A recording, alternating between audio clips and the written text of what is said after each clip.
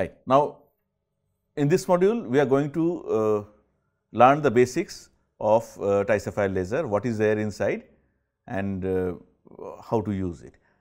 But before that, this is what we have learned and this is where we ended the last module. We talked about Kerr lens mode locking. Curl length mode locking means because of the uh, Gaussian distribution of a TEM 00 mode, you have greater intensity at the center of the beam and it falls off as it go towards the edge. This brings in an intensity dependent refractive index which sort of acts like a lens. It is called a Kerr lens. And since uh, pulse light, so it focuses the intense beams and uh, does not focus beams that are less intense. And since pulse light is intrinsically uh, more intense, what this Kerr lensing does is that it can select pulse light over CW light. You can do it actively by putting in an aperture in the path of the beam, but that is not even required. The optics usually take care of it. This is what we said and this is how pulses are produced. So, femtosecond pulses are produced by Kerr lens mode locking without us having to do much.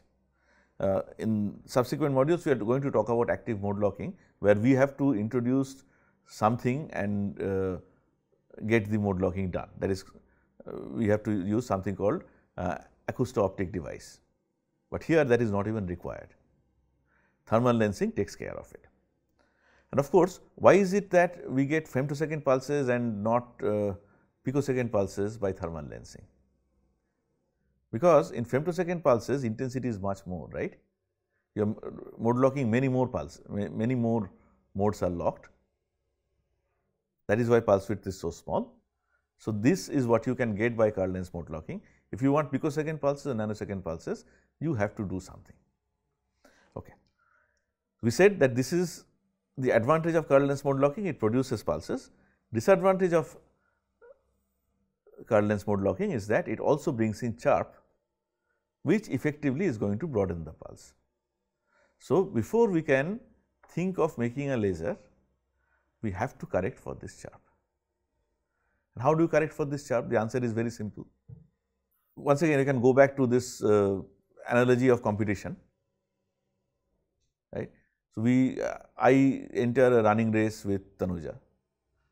All of you agreed that Tanuja is going to win hands down because she is a faster runner. But I do not want that. I want to reach the end point at the same time as Tanuja, even though I am a slower runner. So, if I am powerful enough, what will I do? I will make her run more and I will run less. I will take a shortcut, I will not let her take a shortcut, right. So, uh, difference in speed has to be uh, compensated for by altering path length. Okay. It is that simple and that is what is done to compensate for chirping. What you have to do is whichever path, whichever light is leading has to go through a longer path. The frequencies that are trailing have to go through a uh, shorter path. Okay? And this is done quite easily by using prism pairs. In fact, it is enough to use one prism pair. I am going to show you uh, an arrangement using uh, two prisms, but what is more common and what we have inside the laser we use is two pairs of prism.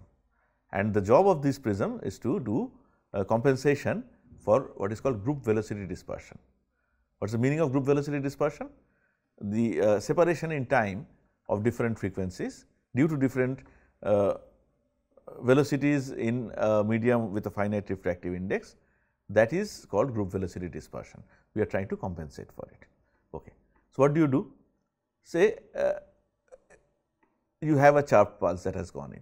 You can see the chart, right here the wavelengths are more, here the wavelengths are shorter, greater frequency on this side, lesser frequency on this side. Okay. So, you make it go through a prism. Okay. Everybody knows what happens when it goes through a prism, it gets dispersed. Okay. Then introduce in the path of the light another prism which is uh, facing opposite and the angles have to be same. Then what will happen is look at this path. What is this color on this side on the top? Yeah? Green? Red. What is the color at the bottom? Yellow.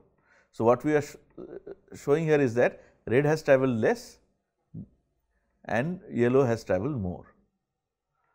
Then you put this, then it will become a collimated beam. And I will show you in a moment why, uh, what the advantage of using two prism pairs is. Okay. And then it goes to another prism pair, then again they are brought together and it goes out as a beam. So, here the inherent assumption is that the light marked in red is trailing and the light marked in yellow is leading. So, we have given a bigger path length to the yellow beam, yellow I am not saying yellow color, the color that I have used to depict the beam here. And I have given a smaller path length to the uh, frequency that I have depicted in red. Okay. So, if red was trailing with respect to yellow in this region, then that would be compensated for. Have you understood? So, this is how GVD dispersion is done. Are we clear? Now, what is the advantage of using two prism pairs instead of one? The advantage is you can have tunability.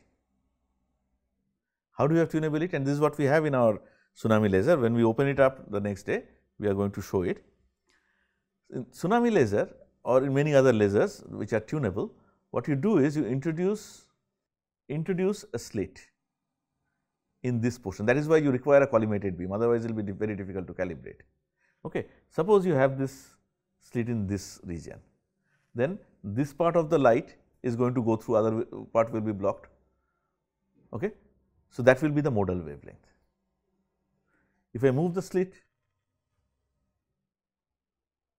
oh, I made some animation, but I think I have goofed it up, but I think you can understand.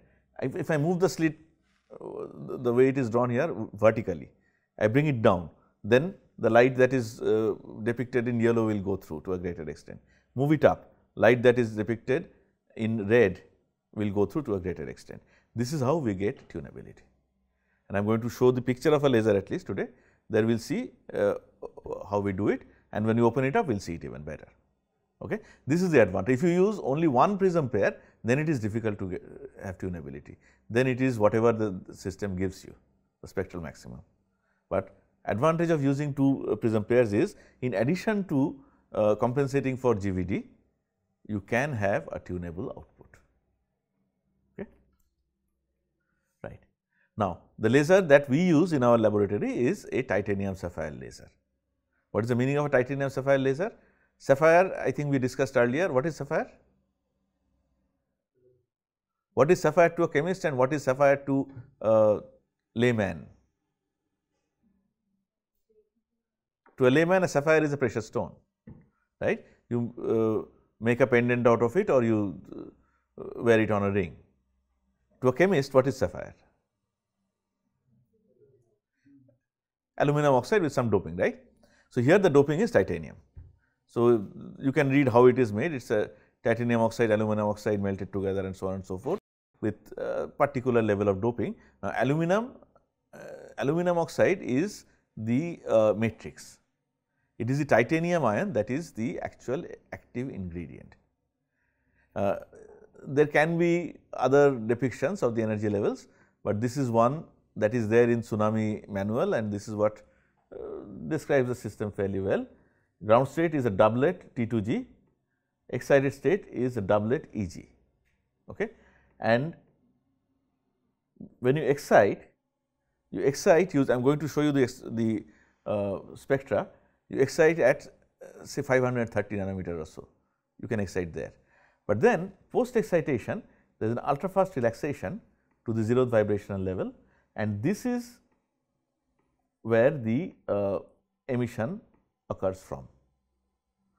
And you can see that the equilibrium bond lengths well, well the minima, minima of the two potential energy surfaces not a good idea to talk about bond lengths right now, but minimum of the potential energy surfaces are not in the same position, right.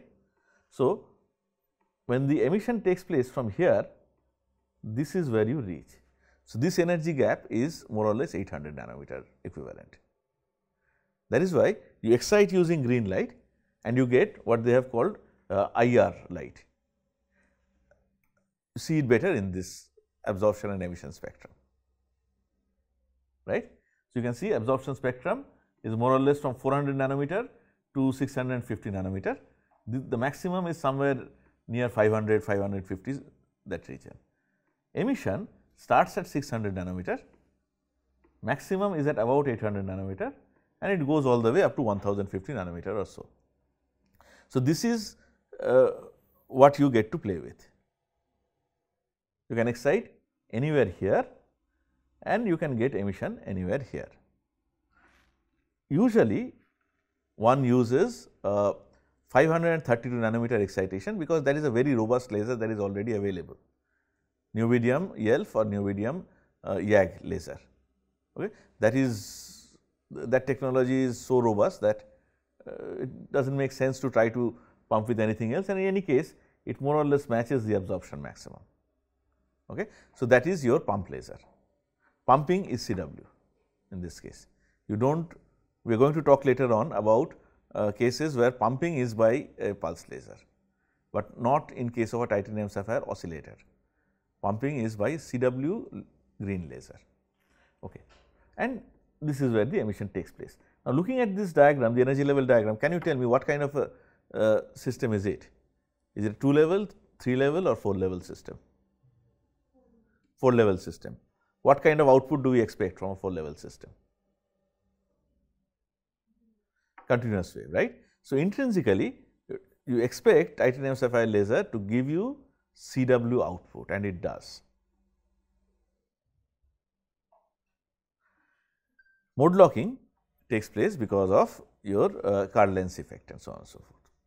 Now, with that background, let me show you uh, one of the earliest successful designs of a titanium sapphire laser.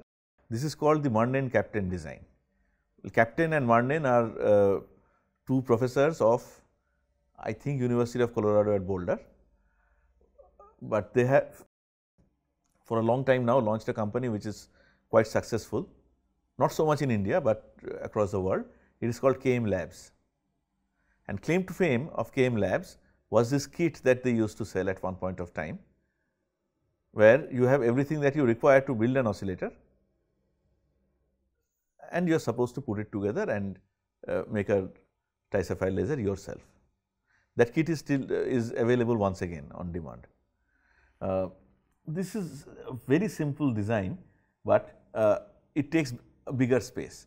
So, this Kapteyn Murnane laser uh, takes up uh, say 2 feet by 2 feet kind of space on the laser table, leaving out the pump laser. So, a squarish kind of design. So, this is how it works, pump laser comes in and then so you see uh, one thing that we will say without uh, going into much detail here is that for solid state lasers pumping has to be coaxial. For dye lasers it is okay if the axis of lasing is this and you pump like this, not so for uh, solid state lasers. So, pumping has to be more or less along the same line, same axis along which lasing takes place. So, that is achieved always and I am going to show you uh, the ray diagram of our own uh, sapphire laser later.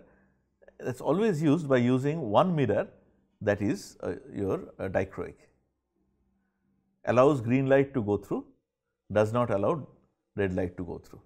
So, this M3 mirror that is shown here it is a dichroic mirror green light goes straight through in fact even M2 and uh, red light is reflected. Okay. So, this is your pump from uh, 530 nanometer typically 4 watt, 5 watt, 3 watt whatever it is CW. It is focused on the laser rod, the titanium sapphire rod which is shown here as a red trapezium. Okay. And then emission from this laser rod is captured by these two mirrors. These are con concave mirrors I hope you can see and then they are focused back onto the rod. So, see we talked about Kerr lens mode locking. So, this is what sustains mode locked uh, operation even without using a uh, using your uh, an aperture. Because something it, the mirrors are aligned in such a way that they are exactly focused where this pulse beam is supposed to get focused. So, anything that is not focusing will not be in the axis of lasing. That is how CW is gotten rid of. Sometimes there is a little bit of CW contamination, you have to play around with the optics and get rid of it. Okay. So, now let us go one by one. Let us take uh, M2 to start with. Okay. M2 catches this, focuses it here and then it goes this side, goes through a prism pair. You see here in this design there is only one prism pair. What does it mean? You do not have tunability. Then it goes and hits M4 which is a plane mirror and it hits M4 exactly at right angle. So, then it is sent back. It retraces its path, gets focused here, from M2 it goes to M1, again M1 is a uh, plane mirror and then it goes to an output coupler which is a partially reflecting mirror through which you get uh, the laser out. Okay. Quite a simple design not very difficult to make provided you have all the distances right. And then the reason why Kapteyn Murnane kit became such a hit is that uh, everything was specified. So, just it was like Lego, you have to put things together in the right place and you have your laser. And uh, to always titanium sapphire laser starts operation in uh, CW mode because it is 4 level laser, right. So, you have to bring in some kind of disturbance in the cavity that is what kick starts pulsed operation. So, the way in which so well, uh, I should say that this figure is from PhD thesis of D.S. English who is a professor in somewhere in the US right now I forgot where, exactly where uh, and I have used this laser as a postdoc. So, what we would do is we would uh, tap a mirror. It is an open laser unlike what we now use. So, you go and tap a mirror like this or just disturb the mirror a little bit and then mode locking is done. Okay. What we have in our lab looks significantly more complicated. In fact, if you look at the manual, it looks even more complicated because other uh, components are included there. I have that is what took a lot of time today. I had to erase all those things that we do not have. Let us see if we can understand uh, the optical layout of the uh, Spectra-Physics tsunami laser that we use in our lab. Other lasers from Coherent and other places have more or less uh, similar layout, but every company has its own design. So, here we will spend a little time on this because we want to understand exactly why what each component does. So, you have the pump beam coming in from here from the left. Okay. Uh, there is a Brewster window when we talk about uh, nonlinear optics we will discuss Brewster effect goes in. So, this is the entry point of your uh, tsunami laser. Okay. Go straight P1 means P for pump. P1 is a green reflecting mirror. So, that so P1 as you see is a uh, plane mirror goes to P2 which is a focusing mirror because your pump beam also has to be focused at the uh, crystal for optimal operation. P2 a curved mirror, concave mirror, then see it is going through M3 for the same reason that uh, I discussed when we talked about uh, Kapteyn Murnane design. M3 again is a dichroic mirror, allows green to go through, reflects red and it's see it's more or less coaxial. So, it goes hits sapphire rod and then it goes straight I am talking to the pump beam now. Pump beam goes through M2 which is again a dichroic mirror and then there is a beam dump that is where it hits and then it has no further role. From this sapphire rod emission takes place. Once again similar to Kapteyn Murnane design you have two mirrors M2 and M3 and here you have the high reflector M1 plane mirror. The job of plane mirror is to just send it back, send the beam back and make it retrace its path. Then from there it goes through M3, M4 which is a plane mirror, M5 which is a plane mirror and then we it goes through what we have discussed already two pairs of prisms. What is the job of two pairs of prism? GVD, GVD compensation and this here is the tuning slit in the portion where the beam is uh, collinear. Okay. So, basically when you change color using a micrometer screw gauge, you move this slit up and down. This is actually vertical. Then M8, M9, well this is the prism pair, uh, this M8, M9 are actually uh, increasing the length between P3 and P4, well PR3 and PR4. Then there is something called acousto-optic modulator, hold on we will come back to it.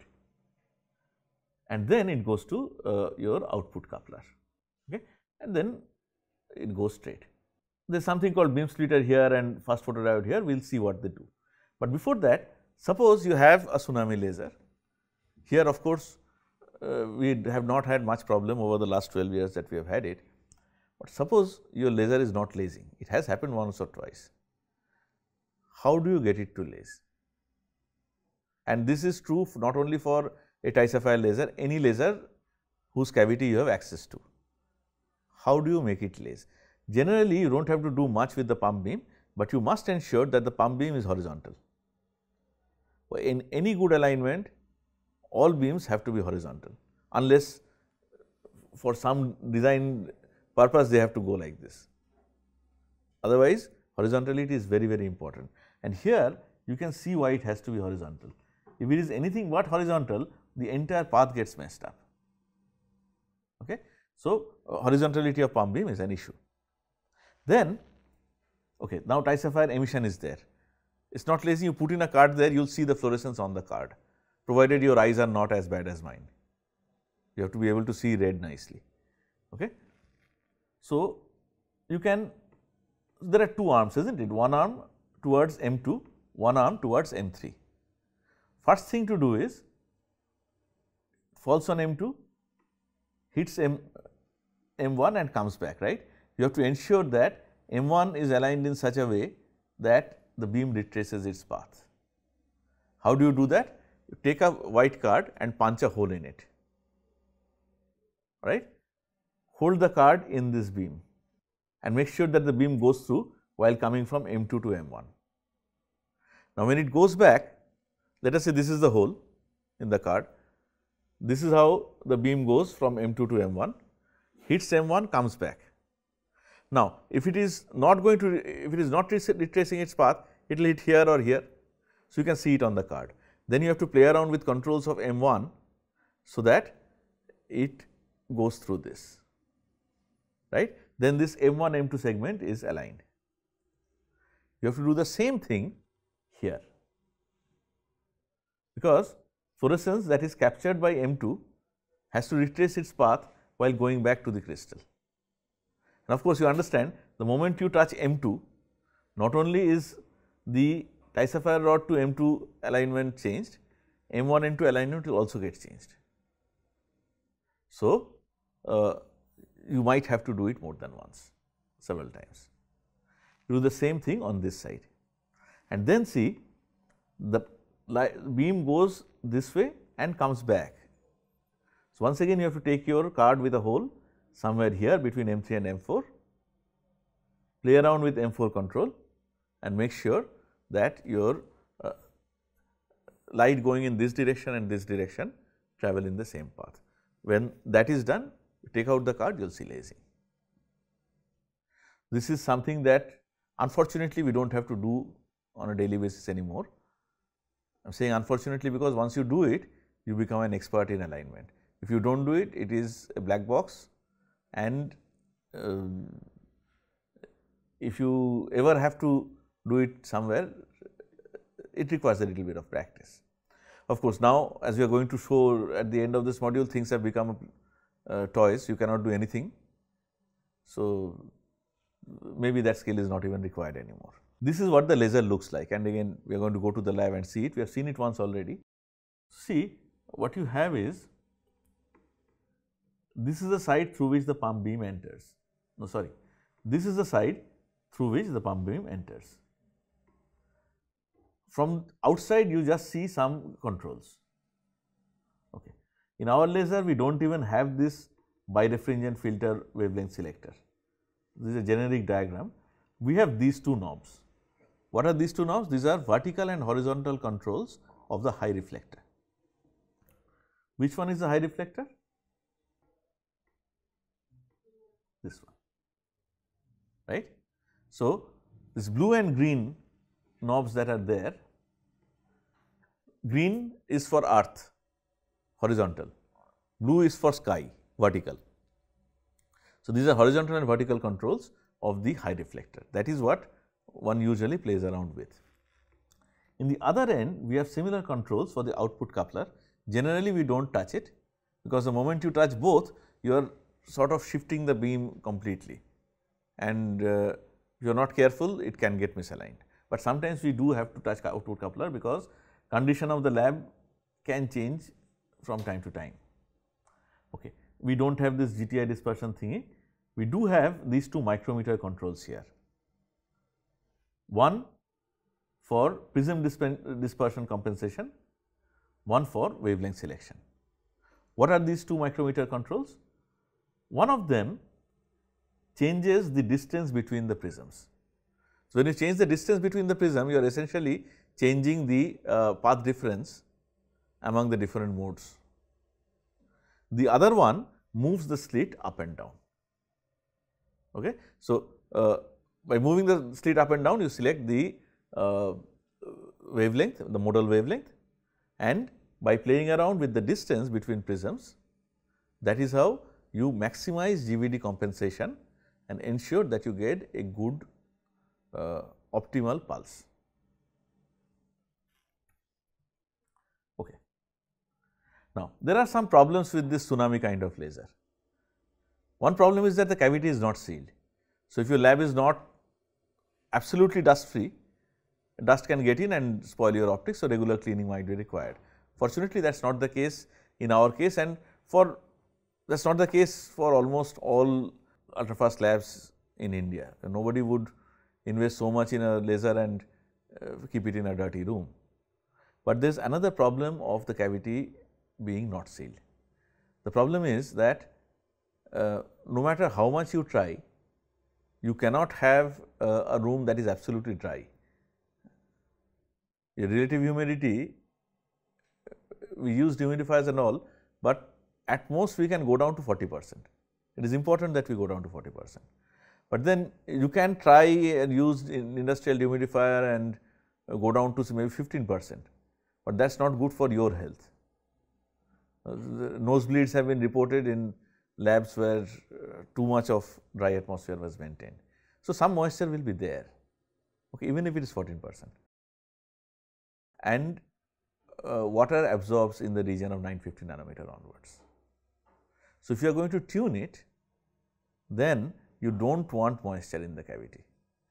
So, tuning tunable range is severely affected by the presence of moisture. So, in a tsunami kind of laser, if you want to uh, go up to say 1000 nanometer output, then there is no way other than purging the entire cavity with dry nitrogen. And we have done it a couple of times and I do not want to do it ever again. The one nitrogen cylinder gets over in one day. You do one day's experiment, the cylinder is always on, right? And it's an open cavity, nitrogen is going out.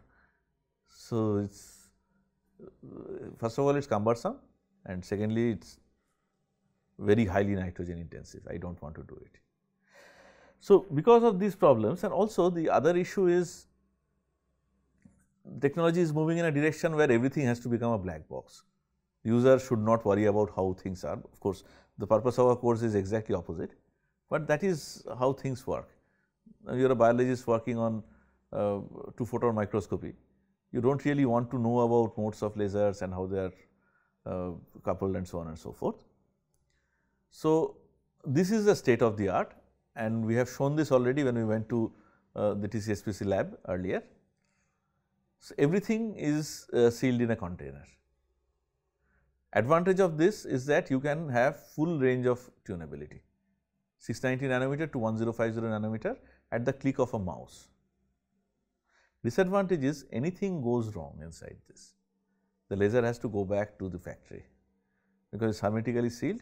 It cannot be opened anywhere other than the factory where uh, humidity, temperature, everything uh, well uh, air quality, everything is maintained uh, very rigorously.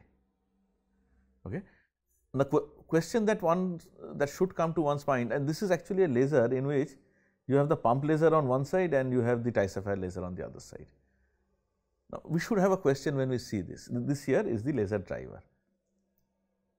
Why we had said earlier that you need some kind of a cavity length to have pulsed operation, okay, round trip time and so on and so forth. So, in such a small thing, how is cavity length maintained? And that is the diagram I was looking for and unfortunately did not find this morning. If I find it, I will include it in the presentation and upload.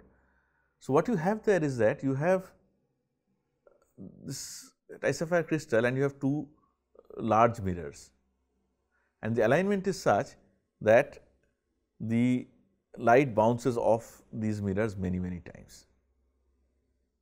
So, even though the separation between the two mirrors is not much, the effective path length is the same as what it is in tsunami. That is how uh, compact sealed lasers like Mai Tai work. Okay. So, what we have done today is we have started with uh, principle of mode locking, length mode locking and we have given you a little bit of idea about construction of lasers. We have not talked about certain things yet. One is if you remember that uh, diagram, we have not told you what the fast photodiode does. We have not told you what the meaning of AOM is. So, in the next module, in the next module, we are going to go to the lab, open up Tsunami and show you. After that, we are going to talk about what acousto-optic modulators are, how they can produce uh, pulse picker, uh, how they can produce uh, uh, pulsed operation. I told you already that you do not really need acousto-optic modulator in this cavity. Why is it still there? It is still there because there is this technology called regenerative mode locking and we will discuss that after we have talked about acousto-optic modulators. And we will also talk about electro-optic modulators like Pockels cell which can give you uh, not short pulses, but large pulses, but in this context which are useful in switching the uh, laser pulse out, outside the cavity. Once we are done with this discussion, we will talk about how amplification of laser is done and then we will talk about optical parametric amplification. Okay. So much for today.